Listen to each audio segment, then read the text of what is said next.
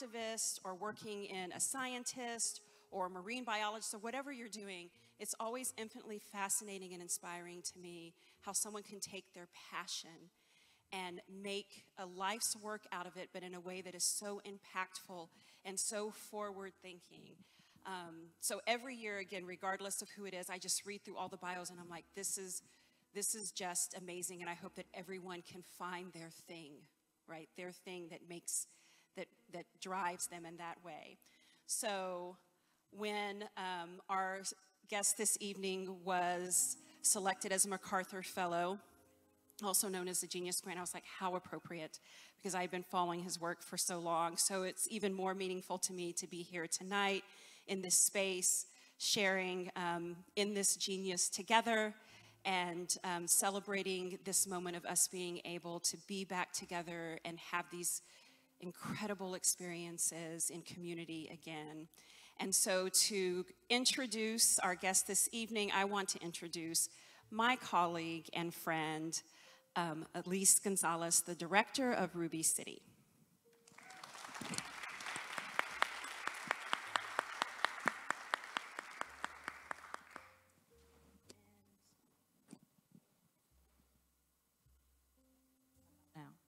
Okay. Well, I am, I mean, that's a lovely introduction to the series, and of course, Rick, to your genius uh, in the field. And so we're delighted to have you here. Thank you so much. As many of you already know, Rick is the founder of Project Row Houses, an extraordinary complex of shotgun houses in Houston that has truly transformed our idea of what art can be, taking into account not only art, but community involvement, and all with the idea of improving the daily lives of the individuals in this community in Third Ward in Houston. It's a predominantly black neighborhood. So I just want to thank you, Rick, for being here and for being part of this series. But also, you know, the other thing that we've come to learn is that Rick has also been maintaining a very active painting practice over the past probably five to six years now. And so we'll be talking a little bit about that tonight. And I am delighted that we own actually one of Ruby City owns one of Rick's paintings that's currently on view in an exhibition, Tangible Nothing, that's on view through July of next year. So you have plenty of time to come by and see it. Um, and so we'll talk a little bit about that painting, but also, but mostly, I guess, I just want to start at the beginning, Rick. And I am always very curious to know, like, how did you come to find art? Like, did you, did your parents make art? Did they go to see art museum? Did they go to art museums? Like, how did this come about? Okay. Well, well. Before I get to that question, uh, let me just uh, start by showing some appreciation for to Ruby City and Elyse for, you know, trekking over to Houston to my studio to, to check out my work and and making this decision to buy a piece. I'm grateful for that, and also grateful to be in this space again. Um, the last time I was in this space was, um, if it was probably just over 30 years.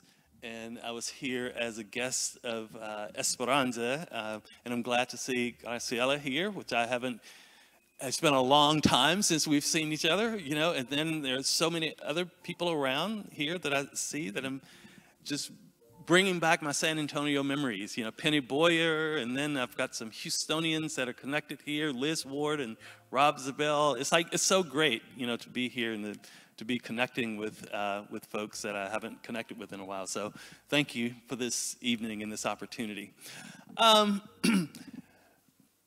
but you know, going to oh wait, one other thing too, and there's a new Texan and I just told her the story that uh, uh, Lisa Abel, who's with the, um, uh, the uh, uh, San Antonio Museum of Art, she just came down. I knew her from Chicago, met her recently, and I just told her the story about Texas that when, they told me when I first moved here in 85. They said it's a big state. It's easy to get in, but it's hard to get out. So she'll be here for a while, so you know, she, she's not going anywhere.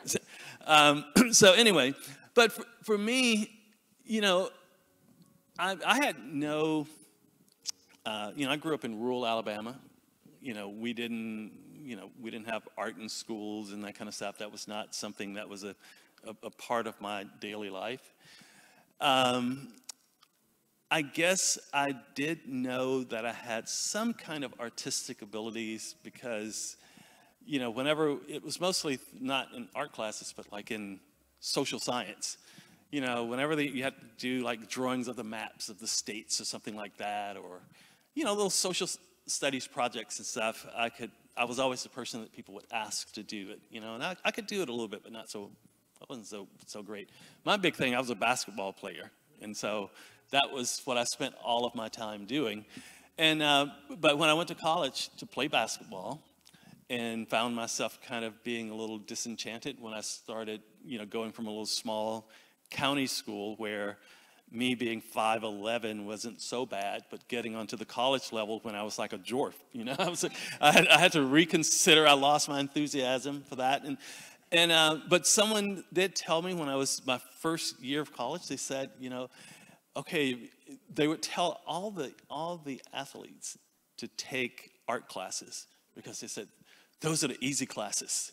So I was like, really?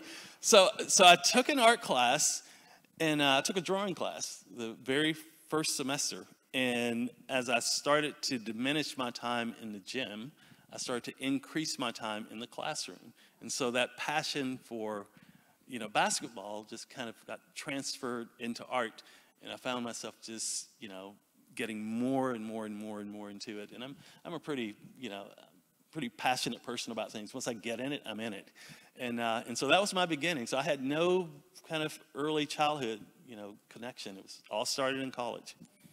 Well, it strikes me it's so humorous that they said that art classes were the easiest. yeah, they haven't had they haven't had like uh, they haven't had Liz Ward as a teacher. Yeah. no, it's just joking, Liz. No, but. And if I recall correctly, you were making kind of landscape, almost pastoral works, mm-hmm. and but after college, you sort of moved into a more figurative and politically motivated genre. Would you say? Yeah, when I, you know, I was just like I didn't know what I was doing when I was taking art classes. I just showed up and they said, you know, draw this stuff, and I would draw. We were drawing still lifes and stuff, and I was just happy to be there doing it. I wasn't as good as the other people in the class because uh, obviously some of those people had been doing it for a long time, and and I, but I was, um, I, you know, I worked hard. You know, I, you know, I, and I enjoyed it. You know, it was something that I found interesting, and um, and then as I moved later semesters into painting, uh, it was a very conservative school, and they taught landscape painting. And so I started doing landscape painting. That's what everybody was doing until it hit me, though, that at a certain point, that while I like the idea of doing the paintings, mm-hmm. there was something else that was um, that I was told as I was beginning to understand art and what it did. Someone suggested to me, one of the teachers was talking about the power of art to change lives. You know, and I and I was interested in that, but I just didn't see that happening with landscape paintings. You know, and I was like, I just can't continue to do this. I have to figure out something else to do. And so I, um, so I was the renegade student. That I just started like doing figurative stuff. I started, you know, uh, doing drawings of things that I saw in newspapers and magazines that had political content to it, and uh, and that just kind of took me out of the landscape realm, and I and I moved into this area of just doing very you know didactic political. Um, almost you, some people might call it protest art. Right. So we think we have yeah. an image up here. Oh yeah, yeah, yeah. That's that's from uh, I guess 1988. Um, that was back then also what I, I was interested in doing art that connected with um, with the people that the art was about. So I would do a lot of these kind of installations in you know community centers, you know at political rallies and that kind of stuff.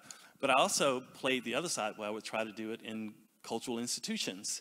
And this piece just so happened to be in um, at the uh, Contemporary Arts Museum in Houston, and um, and actually, and this this piece was very very interesting for me. It was one that was really um, you know really close to me because this, this piece was done um, in commemoration of uh, Michael Donald, who was a young black man who was lynched by the KKK in Mobile, Alabama in 1982, I think it was, 82, I think it was.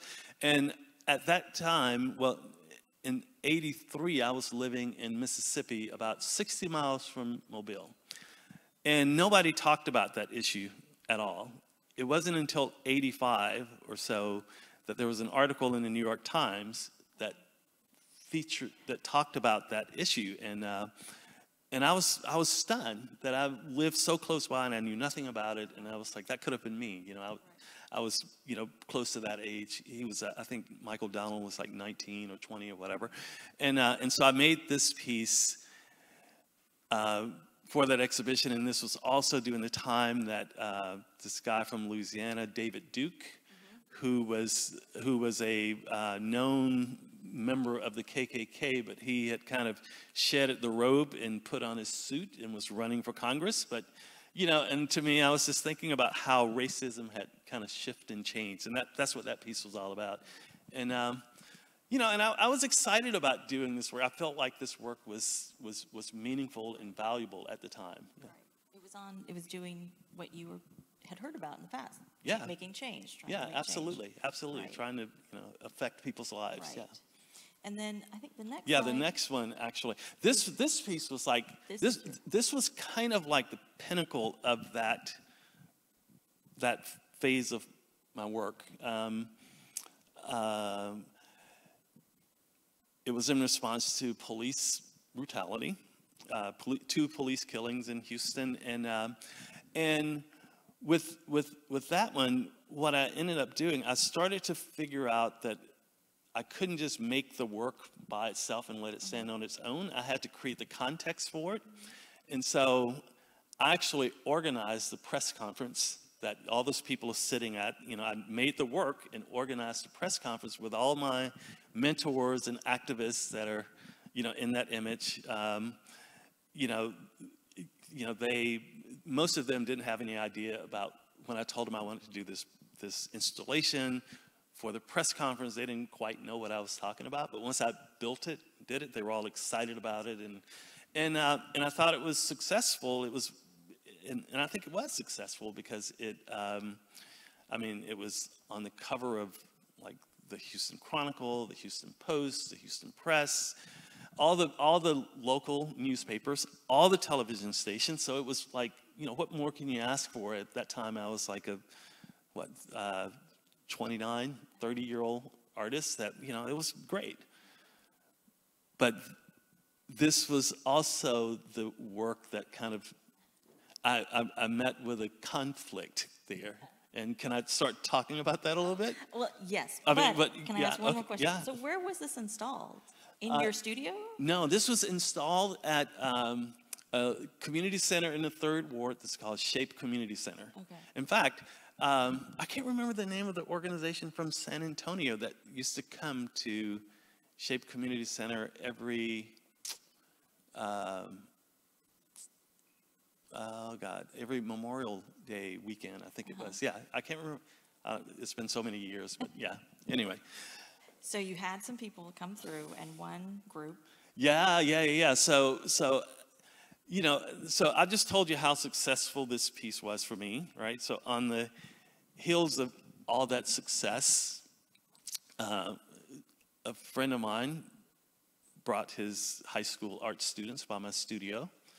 And, uh, you know, and I had taken all this work down, it was all sitting around in my studio.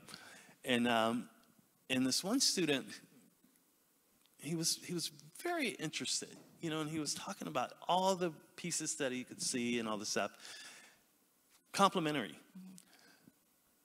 But then when he left, he came back, he said, Well, Mr. Lowe, while your paintings and sculptures, you know, show what's happening in our communities, that's not what we live. We live in our communities. We live with it every day. We know what's happening. We don't need that. If artists are creative, why can't you create solutions? And I went like, what? you, know, like, you know, I mean, that was one of the most devastating moments to have, like, you know, a, a high school teenager, you know, to come along and just challenge me in, in such a way. And you know what's interesting about that? I find I think about it now is that, you know, I mean, I could have obviously have you know really thought about it and said, you know what, forget you. I mean, I've seen this. I mean, look, look at the activists felt like it was good. It worked. It did this and it did that. You know, I could have argued it. But, you know, the moment felt like I needed to contemplate that. Right. You know, I needed to think about it and see what, you know, what, you know, being contemplative in that moment would lead to. And, uh, yeah. So what did you, what did you say when he said this? I think I just kind of like covered my head in shame or something, you know, like just, you know, I just, uh, you know, turned away stunned, you know, because I mean, how do you, I couldn't come back to Yeah. that, you know, I didn't, I didn't, I had no answer for that because Right. in my head, I thought that, that, that I was, you know, right where I needed to be and was doing the best work that I could do. And, you know, and I still, like I say, thinking about it now, I can say it was good work, but, Yeah. but at that time, that kid made me pause. And it was the pause that I needed. Yeah. Yeah.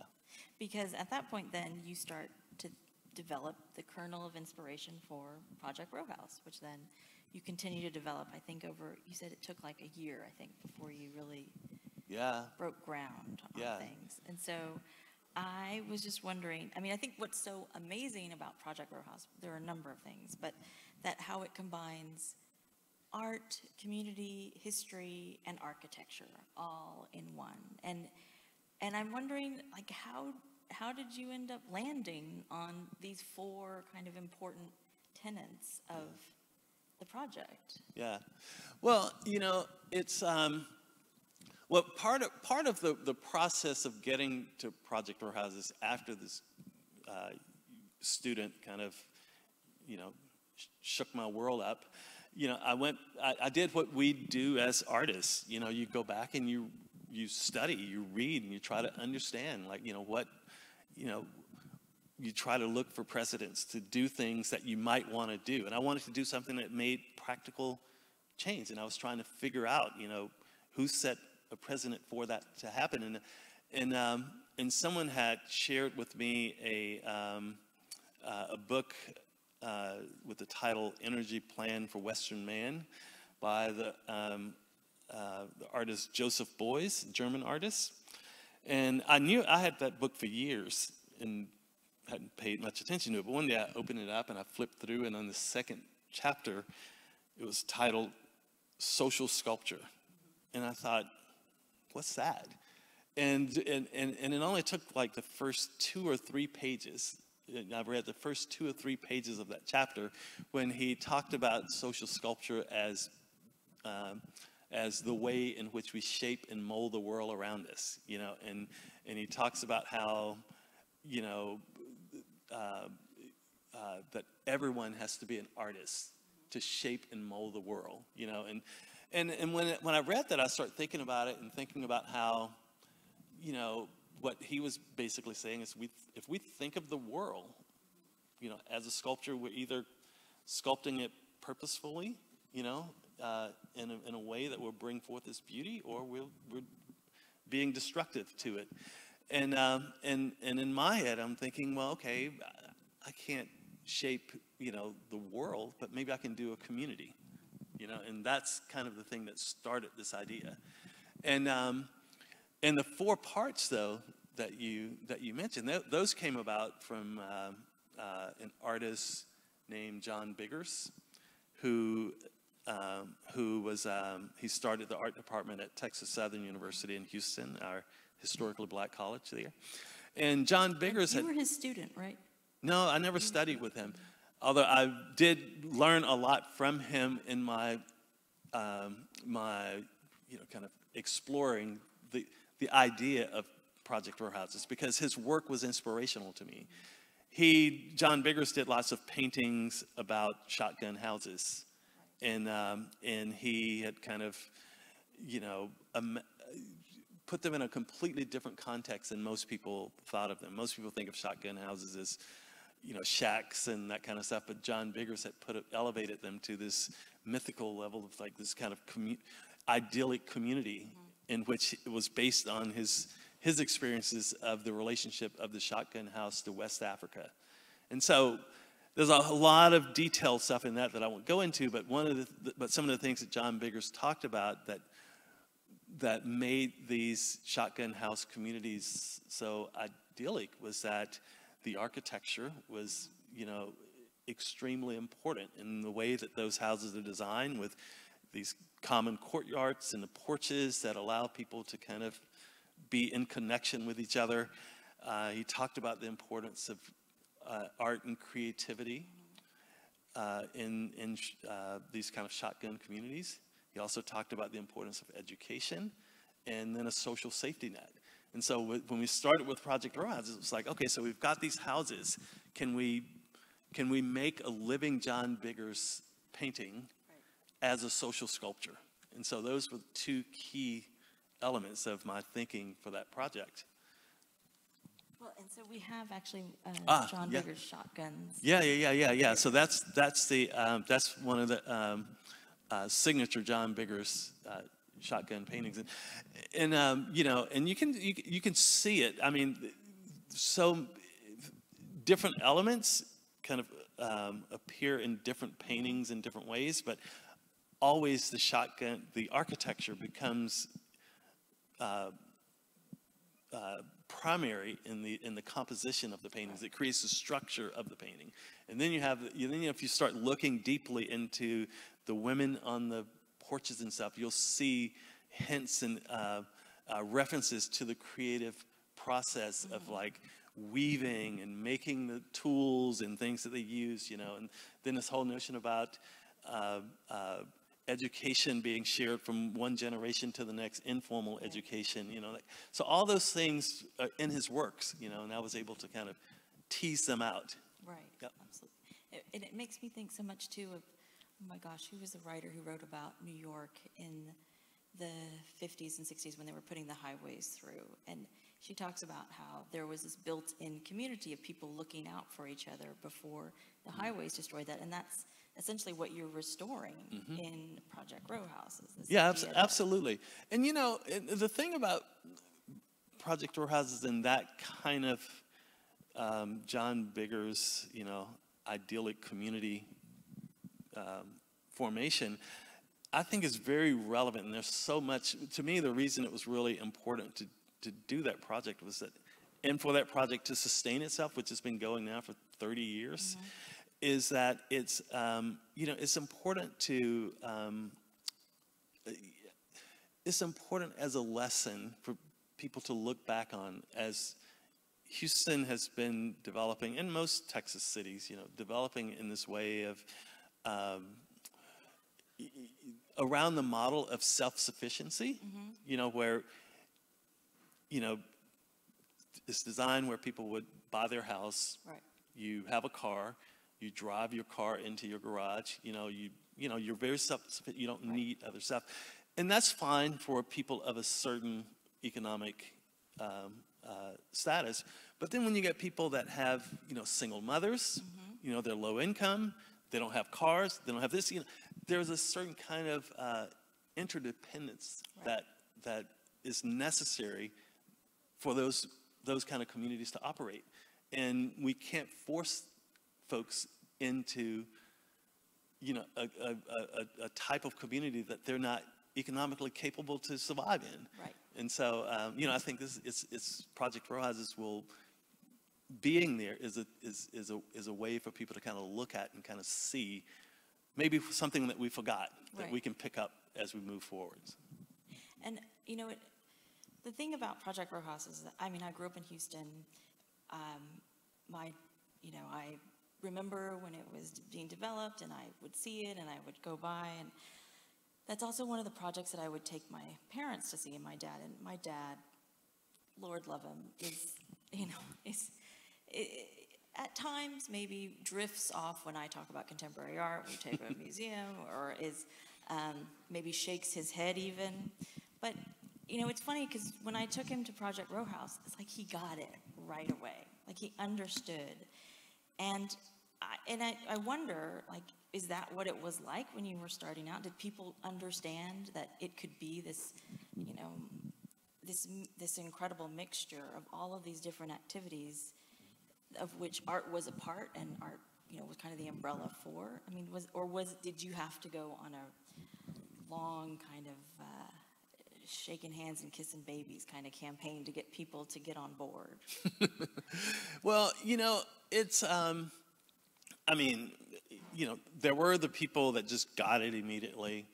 Um, you know, there were the people that just thought we were crazy. Yeah. You know, I mean, in fact, there are people that work for Project Row Houses now from the community that uh, I talked to them. I mean, they would tell me this. They said, you know, for the first, you know, five or six years, they just, they lived across the street and they would sit and they would just watch us and they go, "What- I don't know what those crazy people are doing over there, but they're, they're doing it. But which was actually, and that's another thing, that, that's one of the things though, that, you know, and I, I tell this to my students, and I teach at University of Houston, and I just tell students that, you know, one quality I think that it is important for mm-hmm. artists to have is to be a bit stubborn sometimes. Yeah. You know that you just you just as if you if you think you if you if you have something that you're that you know an itch that you're trying to get to, you know, you just feel like you your intuition tells you that there's something you want to do, you need to do it, whether it's in a painting or whatever whatever kind of way. You, and people may discourage you and this and that, but if you feel it, you just need to play it out to that end that you don't feel it anymore. And um, and I, I think that was you know very helpful in the Project Houses days because you know in the early days I you know I mean you know people like young people ask me you know because they're interested in doing stuff and they say well where'd you get the resources from i mean where'd you get the money from and all this stuff? And and i always tell them like well i never thought about it in terms of money. Mm-hmm. I always thought about it in terms of resources. And when you think about resources then you can just always start well i've got one resource certain and that's me you know and then so what kind of resources that i have within you know and you just kind of go from there and you add people on and you have to believe in that because yeah while it's it's you know i could show photographs of the days when like lots of people around but i can tell you there were many number of days when i would be sitting around when we were first doing with volunteers and all this stuff you know and some days we'd have you know 15 20 30 people some days it would just be me you know and just um, you know having a, a commitment to just say well you know i believe in this and i'm just going to keep going. So, uh, speaking of resources, the Emily Neff, the director of SAMA, she sent me an anecdote saying, because she couldn't be here tonight, but she said, I remember fondly my days of scraping paint off the Project Row House building that I guess the MFA had sponsored. Mm. Oh yeah, yeah, so- absolutely, absolutely.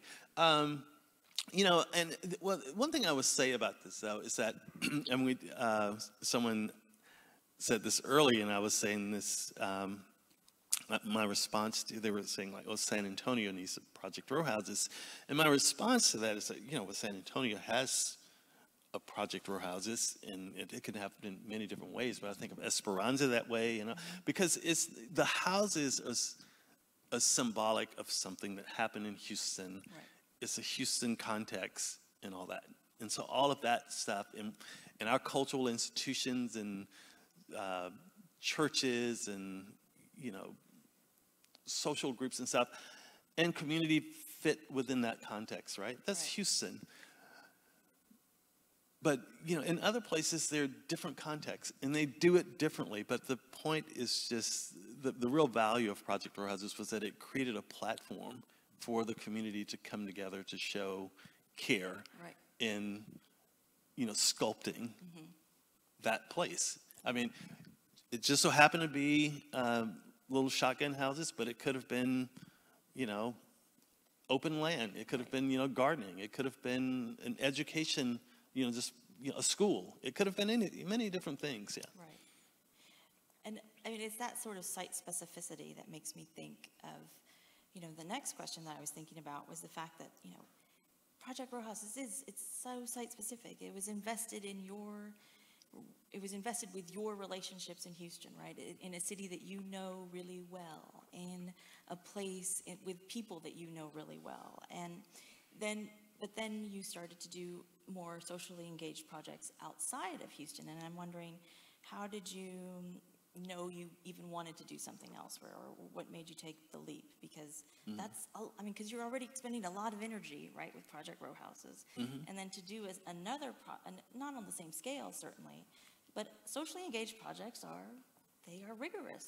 Yeah. When they're done well, and it takes a lot of energy and resources and just being present. So Right. how did you make the decision to do another project somewhere else, or maybe that was not a decision at all, you had to think about? Yeah, well, I mean, you know, there are, um, I have been involved with some projects that were things that I, you know, I met people and I wanted to just help them out. And so it's not from any institutional support. So, for instance, I have a, I have an ongoing relationship with a group in Mobile, Alabama, in the neighborhood of Africatown, which is a very fascinating story. It's like, um, you know, uh, a, a group of um, captured Africans were brought on a ship to the Mobile Bay like 50 years after the abolition of slavery. And I, they just found the ship recently. Yeah, right? yeah, yeah. And that little community is there, you know, and, and, and, and there's just, it's, that community has no support of anything, you know. And so I thought, you know, I'll be a resource to them and stuff. And I'm interested in that kind of, so I can, I do those kinds of things. Um, and then they're the kind like uh, the uh, Vickery Meadow project in Dallas, which I don't know if there's an image of that. Oh, this is this is Greece. Let me show the Vickery Meadow. Um, you know where that project in um, in Dallas came about because the Nasher Sculpture Center invited me for their 10th anniversary uh, project, and um, and you know, and I was able to yeah, that was, they invited me, so I responded to that. Then the other one that we'll show later uh, in Athens, Greece, I was invited through Documenta, which is this international exhibition, to do that one. But, um, but they all have, you know, it's so interesting. They're, they're pros and cons Right. to um, not having an institutional base and to have an institutional base. Um, obviously, having an institutional base means that you, you, you have some resources and stuff. And, um, and otherwise, I mean, you have some, you have the, the resources of the institution, Right. you know. And, um, but when you, when you don't, you have to, you just, you're, you're, it's much slower, you know, and, uh, and there's no time frame on it. You just kind of work your way through it. But this particular project in, uh, in Dallas, which was, uh, you know, it was, it was great for me. It's a, what I find, what I found over the years that practicing social sculpture is the same as, you know, practicing sculpture, painting, or, you know, photography, whatever you're doing. You, you, you, you do the, you don't just work on one thing. You want to work on many things. You practice. It's a practice of stuff. And so, you know, some people, you know, engage in a, a singular project and they can stick with it. But for me, it, d- didn't work. I have to tr- practice in different ways. And, uh, and I learned stuff. So this was really interesting and fascinating for me because I had mostly worked in the context of African American um, communities.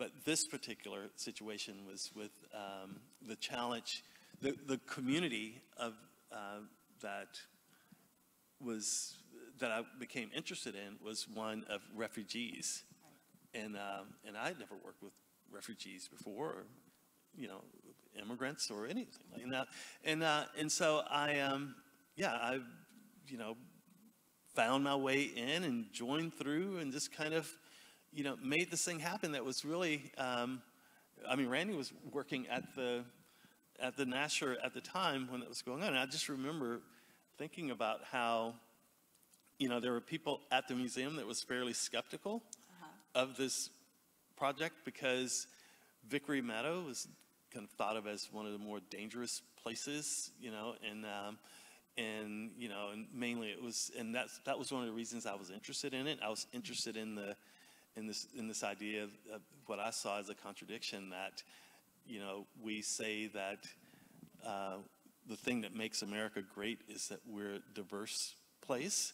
But then I said, I saw that this neighborhood was one of the most diverse places I've ever been. But then all of a sudden, it's like you know, one of the worst places to be. And I'm like, why is that? You know, how can we have a conversation around this? And to make a, to not go into too much detail on this, to just kind of give you an, a sense of what this project was, was that what I observed I mean, there was there was this this idea that was dangerous, in and the way that we deal with uh, the idea of crime, mostly in in our cities, is put more police. You know, put more police. But I found a group of church ladies. They they sought me out and they said, "You should. We have a group for women, and we don't have men come to this thing." But they heard me talk about the Young Mothers Program at Project Row Houses and all. And they said, but we want you to come and sit and listen. you know, so, so I showed up. It was a Wednesday. They had they had something they called a mom's lunch uh-huh. on Wednesdays, and they asked me. They invited me to come, and I went, and I sat in the back, and it was one of the most amazing experiences that I've ever had, because what these women had decided, they said that while most people were saying that the problem with crime was coming from just bad people, they thought maybe it was because people didn't know each other. You know, you you're throwing all these people from different places together. They don't have any context.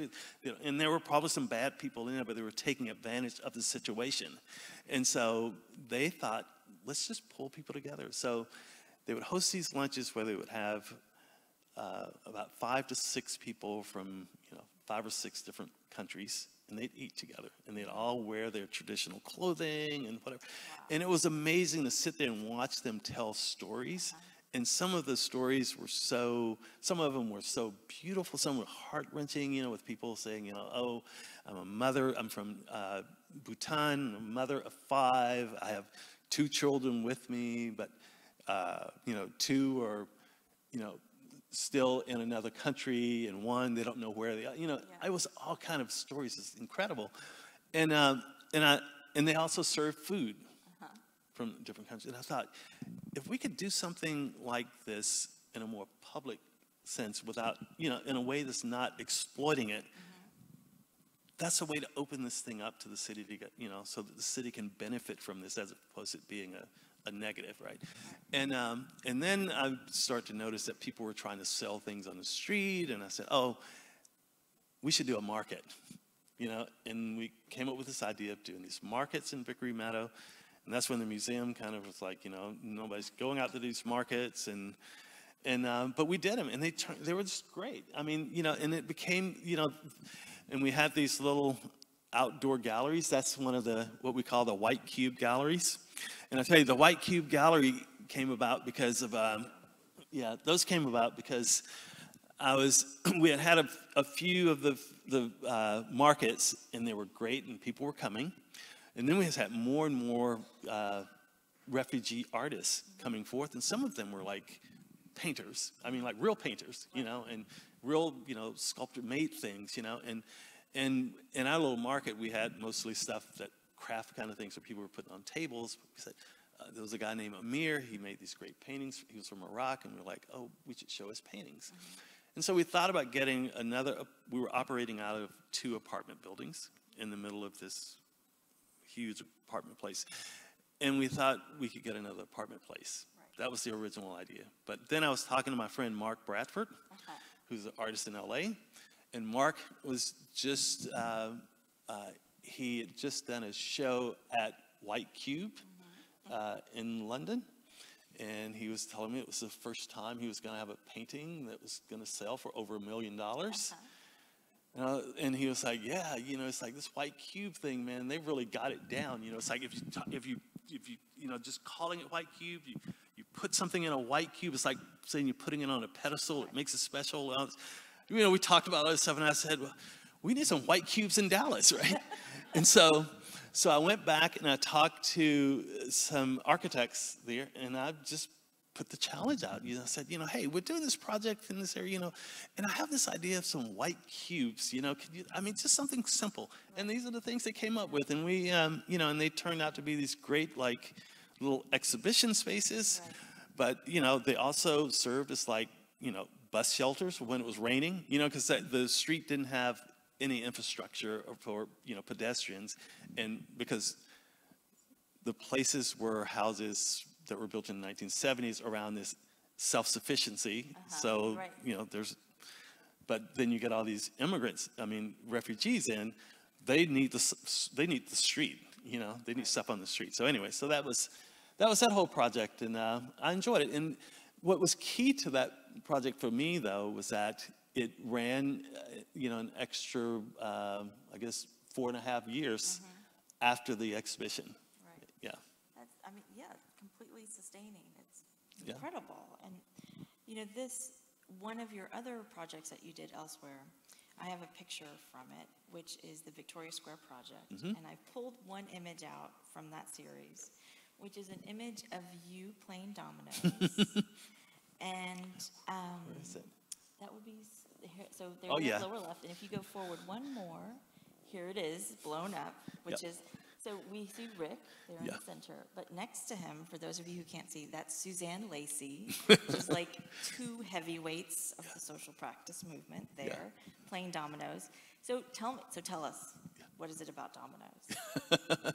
Yeah, well, you know, I mean, um, I have um, a friend of mine who I, you know, when you get, you, you know, you know, as you get older, you, you know, your kind of your status, how you relate to people, kind of shift.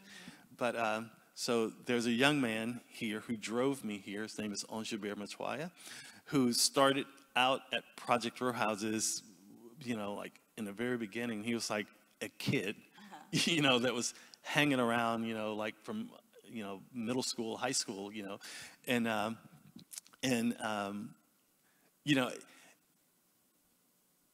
he he knows this story about the importance of you know playing dominoes. How at Project Row Houses the culture of community was around doing things that people in the community do. You know, just the activities that they do all the time. You know, th- there are ways. I mean, a lot of people think. I mean, you know, they want to get community input. They want to know what community's doing, and so they want to have like you know town hall meetings. They want to have this and they want to have that, whatever, whatever. And that's all good, you know. But my my sense of this is that I always thought like when you have a town hall meeting, generally what you get is the people who who think they know everything or you know or they or they or they, they they like the way they sound when they speak you know and they you know they'll just they'll, they'll they talk and then the other people they just sit back and just play their role so you have those two two dynamics but then but if you start like if you do things where people are being you know themselves in a casual you know environment they'll tell you all kinds of things that you need to know and that you should know and um, and so I, I- that's why I started playing dominoes at Project Houses. I, I'm not a, I wasn't a I never played I played basketball. I didn't play board games and stuff. I mean I just didn't that wasn't a part of my thing. And uh, but then as I but as a uh, community organizing tool, it became very important, and um, and that translated itself to this project in Greece because as I was working on this project, working again with um, um, uh, refugees, this was after the, you know, the border uh, crisis in 2015, and um, and so there were refugees all over um, uh, Athens, and um, and I had had this experience working in Dallas, and I thought, okay, I want to, you know, carry this further. And as we, you know, I found this location for the project, and I remember like some of the local Greek artists were telling me that the space that I decided on, they said, you know, that's a beautiful space. It's a great space. You know, you've cleaned it up really good because we went in and we got took off all the graffiti and cleaned it. You know, they said, but you know what? This is not going to last because there was a uh, an aggressive what the Greeks call a fascist party, the Golden Dawn, yes. and they're like, you know, they're going to come through and they're going to smash this glass. They're going to do, you know, it's not going to work. And I was like, hmm. and they said you should put up, you're going to have to put up bars over it. And I thought, no, that's going to ruin it. So, like, okay, so then, but one day I was there and I looked down the street and I saw these men huddled around, and I went over and I went to see what they were doing. They were playing dominoes. So I was like, hmm. So I watched for a while, and I realized they're not playing like I play, though. I don't know how. I don't know the game. So I watched long enough until I figured out the game that they were playing, And then I, like, you know, the game was over. I kind of like leaned in, you know, and they looked at me and they started talking to me, but I didn't understand what they were saying. I knew they, they weren't speaking Greek though, and I didn't I didn't know what they were speaking. So, you know, I said, yeah, yeah, yeah, yeah I want to, you know, and they they let me sit down and I played, and then someone came in who could speak English. They were Albanian, and who translated.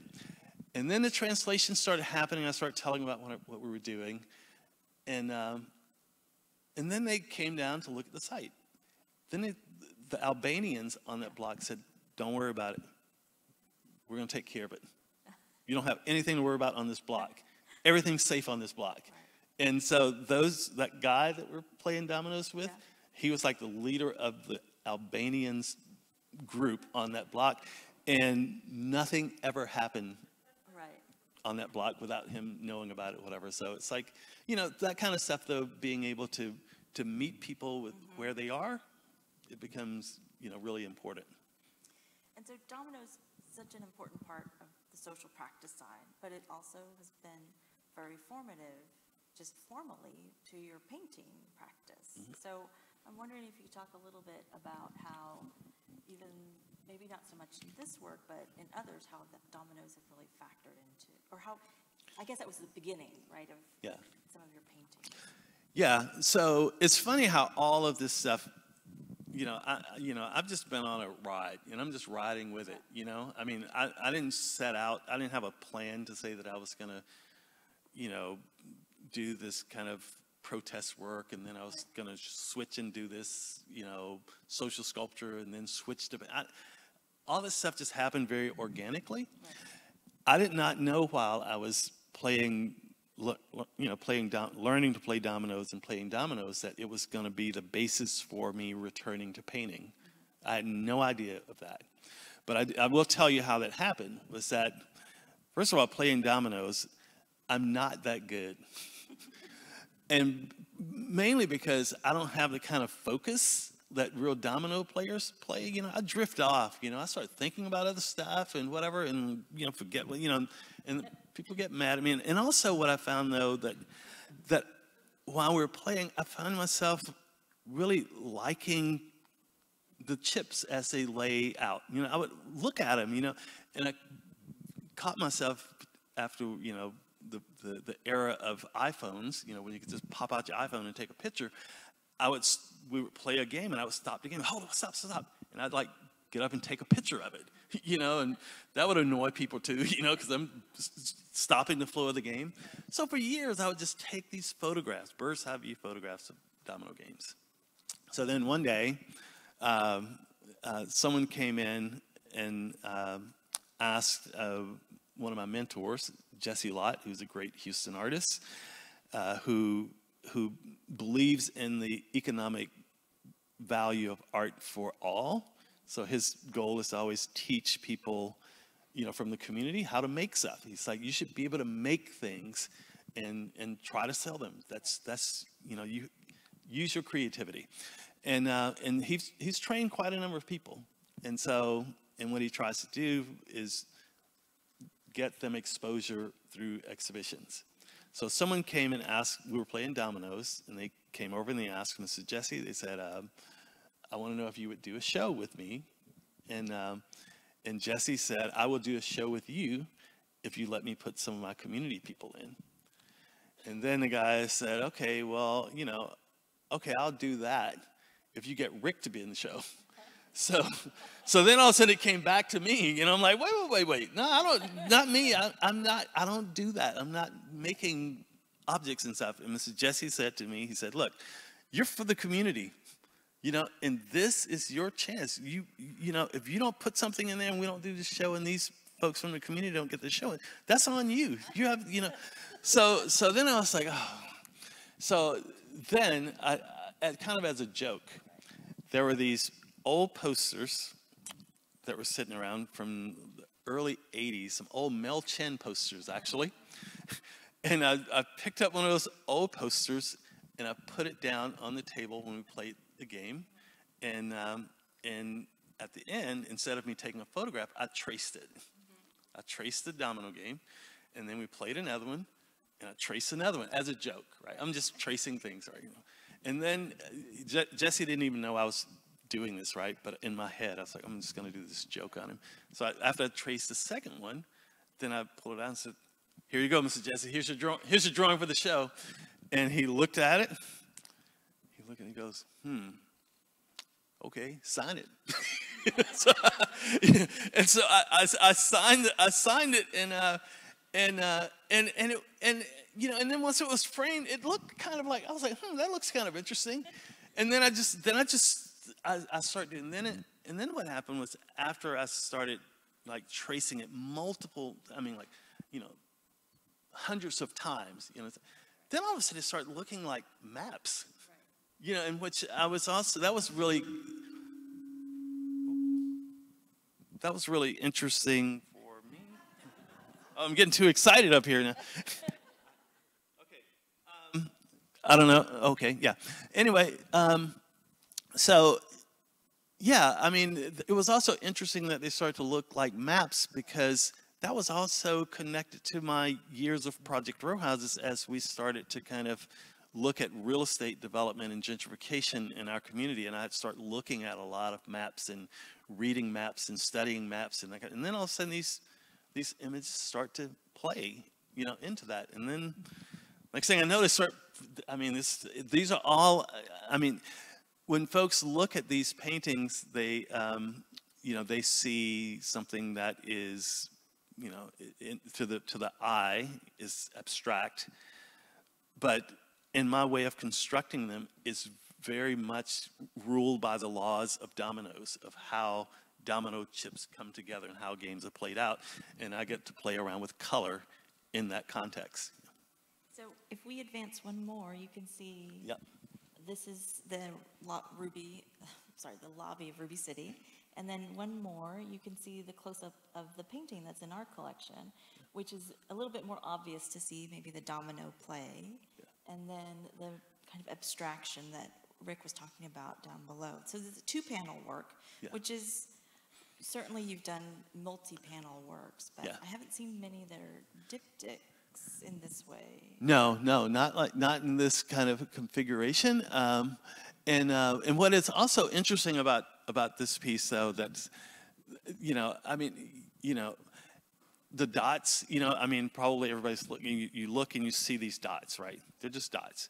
But if you know dominoes, you can see Yeah. that there there's a game. You know, there's a you know there's probably a, a, a five three that's connected to a three two that may be connected to a two six, and you know, so I'm playing out domino games. You know, and what's interesting about all these little, you know, the the, the iconographies of um, of, of dominoes, whether it's the, the chip, the, you know, the, the, the rectangular chip or the dots or whatever, is that they can also reference so many things. You know, I mean, they, you know, dots reference things that are sold. You know, dots can represent, you know, movements of people or things when things move around. You know, and so I use it in so many different ways. And um, so it's, th- th- and this was the first piece that um, that I used the dots on. Yeah, this is the very first one.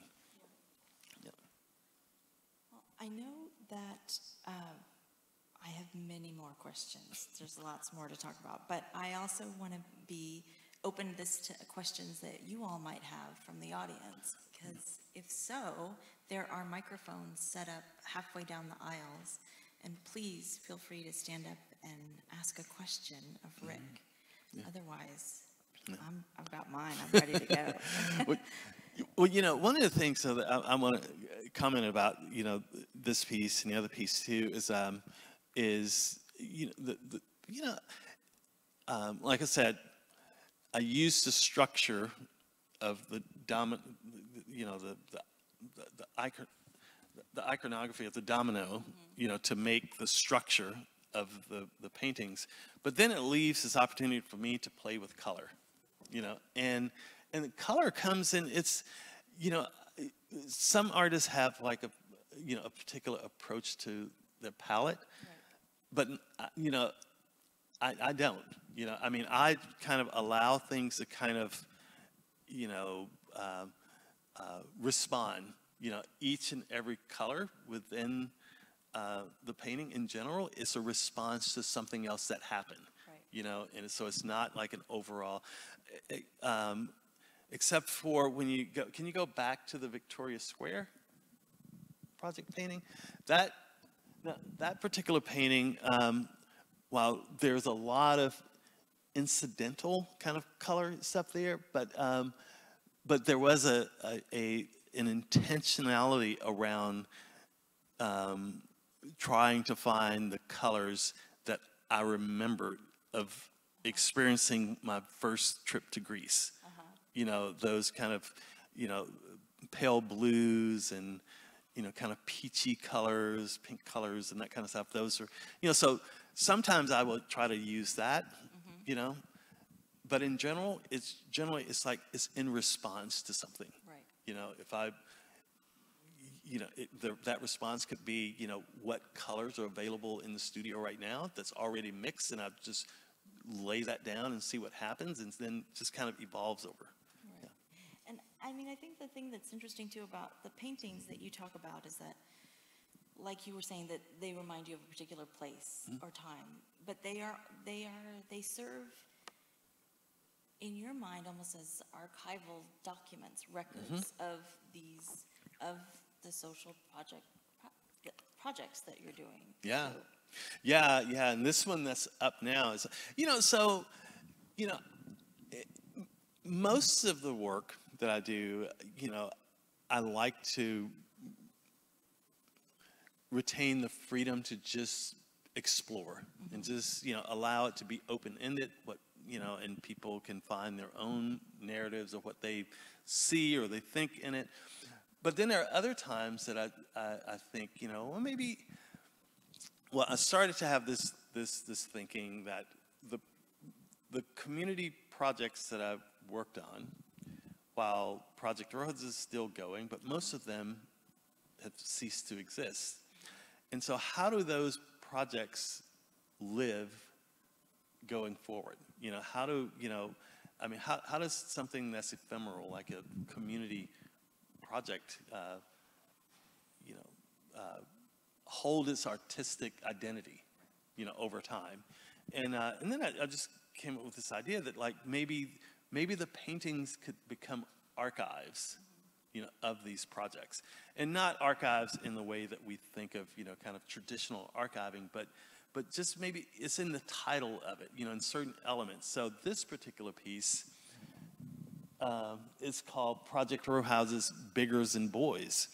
And what's important about that, that, that work for me is that, I mean, it's, it's composed if you, over, of um, an image of Project Row Houses, an image of a John Biggers painting, and a book cover of Joseph Beuys' um, book, Energy Plan for Western Man and you know and it's all mushed together and it's collaged and so it's not like a clear narrative thing so it's an abstract work.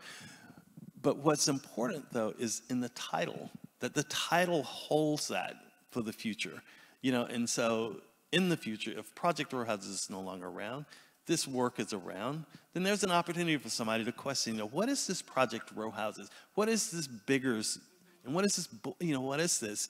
And then they'll start to to to to um, you know hope in my mind it was a way to honor also john biggers you know who most people have kind of mostly acknowledged him as a more regional artist whereas Joseph Beuys is this international artist and i'm trying to pull them in the same space you know so they're in the same space that you know if this painting's around the next, you know, 50, 100, or however long this painting's around, then John Biggers is around with Joseph Beuys, you know, and that that's kind of the the thinking on that is being able to to um, to to ha- It's inserting him Yeah. into the record. yeah, yeah absolutely, absolutely. So if, if the projects inform so much of your paintings, maybe not directly, but in a larger sense, do your paintings inform the social practice projects in some way or another? You know, That's a very good question too, because I think actually it, it, took me a long time to figure this out. But you know what? I think the paintings um, makes it possible to do the social practice projects now. Oh, in what way? Because what I, I you know, and I, I'm sure, I'm sure Graciela understand this too. Like, you know, when you've been working, you know, for decades, and it's like it's it's so it's demanding. I mean, and it is like you know, there hardly time to breathe and think because everything is is is is um, you know, is so necessary. It's you know, it's yeah, you don't have space to to to reflect, and um, and I think for me, I was getting to that point where I really kind of didn't know where I needed to be within the practice of social sculpture. I didn't know where it was, and uh, and so painting allows me that that that space to be able to reflect, while uh, you know to to be complementary to my work in the community, and not to replace it, but to complement, to be able to enable. It's like you know, it's it's like you know the you know the you know you can't work all day. You have to go home and eat, right? So it's like it's me going to the studio to eat, right. feed my soul, mm-hmm. to be able to get back to work on the other on the other work. Yeah. Um, are there? I, if there aren't any questions, I will end by asking you, uh, Rick. You know, is there some? Is there a project or a project that you're dying to do, whether it's in painting or social practice, something that you're really longing? Um, well, yeah, I mean, th- there are some, some, some, I wouldn't say that a particular project, but, you know, I think I mentioned this earlier that I've just been, I've been knocking at the door of working on a project with David Adjaye Mm-hmm uh, for the last 20 years. Uh, he's the architect of um, Ruby City. Uh, we started working together way back in 2003 and on a project that did not come to mm-hmm. fruition in Seattle. Uh-huh. And, um, and, and, you know, every, probably every five to seven years since then, we would come together and, right. and, and and make an attempt on something. Uh-huh. And, uh, and we're in that, that space now where we're, we're, we're playing around with something that I, if it happens, I can't talk details now right. because I don't want to jinx it, but you know, it's, it's going to be really great. It'll be fantastic. Well, I like to think that this is your first collaboration with David. Your painting installed at Ruby City. So. Absolutely, absolutely, absolutely. I'm going to send him an image of that and tell because he, well, yeah, I will. I'll send you this image so you can share with it. well, Rick, I'm dying to. Oh, we have a question. Yeah. Oh. Yeah, I was just curious how you view authorship of your legacy of this whole thing that you've created over the years. Wait, can you wait? Say that again. How do you? Can you reflect on your the authorship? How oh. it's been created? Is it yours? Is it the communities? Is it? How does it work? Mm-hmm. Yeah, you know, I mean, authorship is is is is a very interesting um, uh, uh, it's an interesting question in the whole field of social and community engaged work social sculpture whatever. And i've always i've, I've always you know tried to approach it from the standpoint and a perspective that if it's a social sculpture project whoever is working in it is or should be working in it as an artist and they have their own narrative about it you know and they have so they have their own authorship about what it is. And that's why i think with project row houses uh, and as time goes on you'll find there there are probably going to be multiple narratives about you know the authorship of project row houses you know, in other projects I've worked on, there are multiple narratives, and I don't try to claim them. You know, I don't try to own them. You know, I mean, yeah, I mean, there, you know, there will be people that say, "Oh, well, th- this person was the leader," and then, well, they were. Maybe they were. I don't know. You know, I mean, I know what I know what my intent was as an artist working in the project. And that's the, that's the, the narrative that I tell, and that's my authorship. But the other person who worked in it, they, they have their, you know, perspective. Now, you know, there is the, um, you know, it is just natural that for people that, you know, kind of have, play the, the stronger part or maybe the more public part will uh, garner most of the acknowledgement of, you know, the, um, uh, the ownership of the project. But, but you know, when we started Project Row Houses, um, and if you listen to, look at a lot of the um, uh, information about Project Row Houses, some just say, well, Rick Lowe's the founder. Some say Rick Lowe's a co-founder. You know, and, that, and there are many co-founders, you know, and that's all great, you know, and they, I don't have a problem with that. I had a question as well.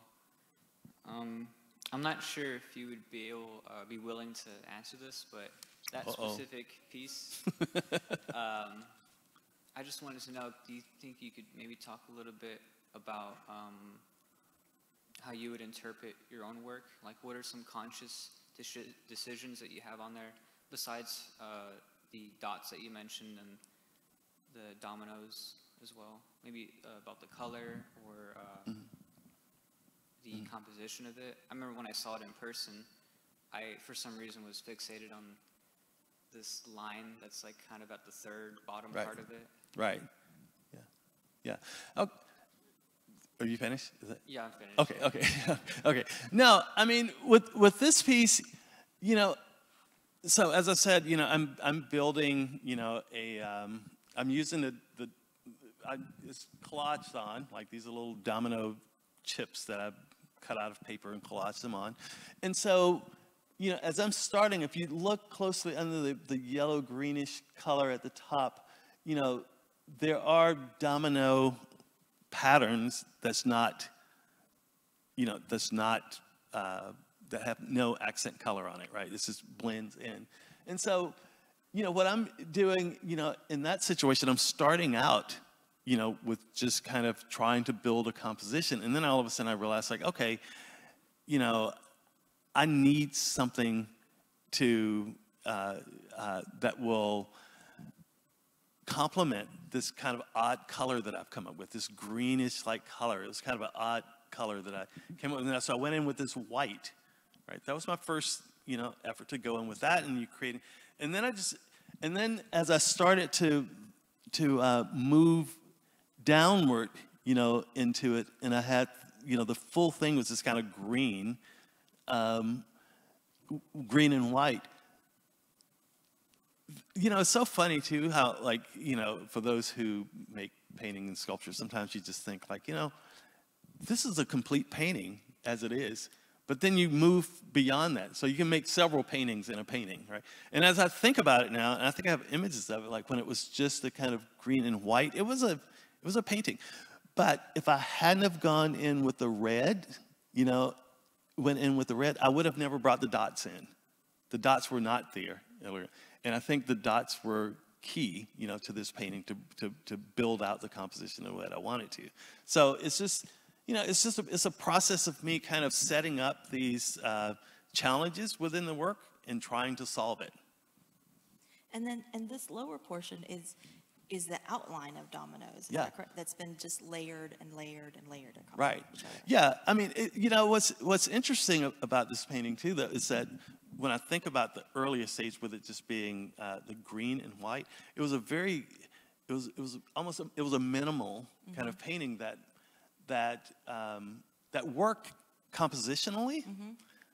But it didn't have the kind of, and I guess that's where the, the whole thing of like, you know, how your emotional state and sensibilities come in. I mean, I wasn't in that place. I wanted something that had that that had a more punch to it and more, you know, that that that um, that that that that was a little more disruptive to the mind than just the calmness of those those two colors. Right.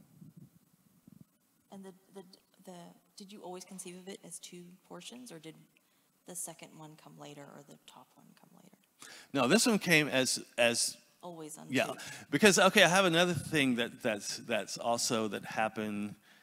You know, just it was very, um, you know, it wasn't something that I was kind of a strategy. It just naturally happened. Back when I was doing the the the political paintings stuff, I was painting on plywood at the time, and there was a four by eight sheets of. That's why I have my big truck with the long bed. I got to put the four by eight sheets of plywood. Have, you know, it, uh, that's a conversation from earlier. But anyway, um, but uh, but you know, and I always like to work large, and I knew that I wanted to make, you know, this is you know, larger pieces, but I I'm in a small studio. So being able to make them with uh, in, in in parts, you know, in panels. That's way I used to use the the um, uh, the plywood. I would use you know, you know, one four by eight sheet of plywood be a painting that size, and then if I add another, it'd be eight by eight, and I can add another eight by twelve. You know, just kind of move that way.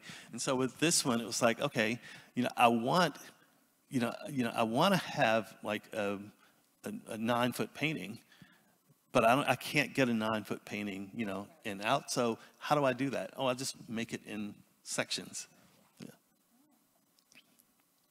Yes. Hi. Do you have any weird uh, or unique things that have to be a certain way for you to start creating like coffee, music? Hmm. Hmm. Uh,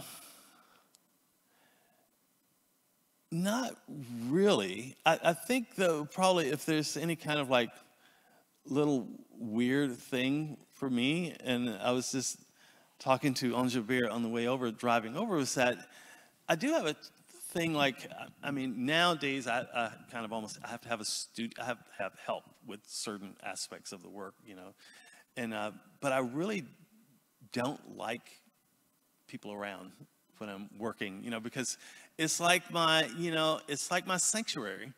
You know, and as Algebra knows, sometimes the Holy Ghost come in there. You know, I mean, you know, if the music's right, you know, and the, you know, and I'm feeling, you know, if it's raining outside, and you know, the weather makes an impact. You know, it's just, you know, I, I, I allow myself, and I like to allow myself to just get as emotional as I want to be in my sanctuary, in my studio.